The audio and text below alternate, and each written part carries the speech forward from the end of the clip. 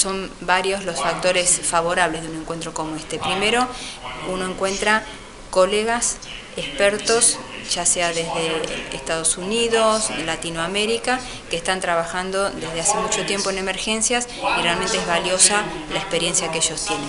Y por otro lado, a veces la realidad de otros países latinoamericanos eh, que necesitan apoyo o que necesitan este, un cierto soporte ante la emergencia, CONA está capacitada para darlo y de hecho lo hace.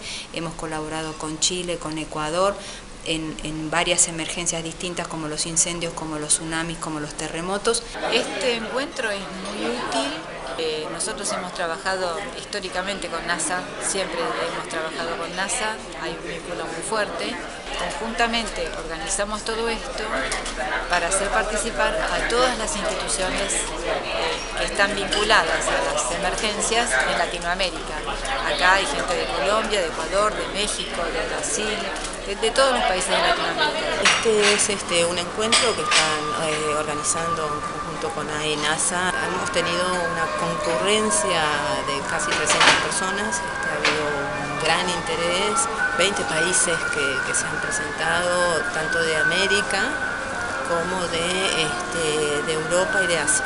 Dentro de la Comisión Nacional de Actividades Espaciales hay una unidad especial que se encarga de las emergencias nacionales y también tiene su vínculo cuando hay emergencias a nivel regional.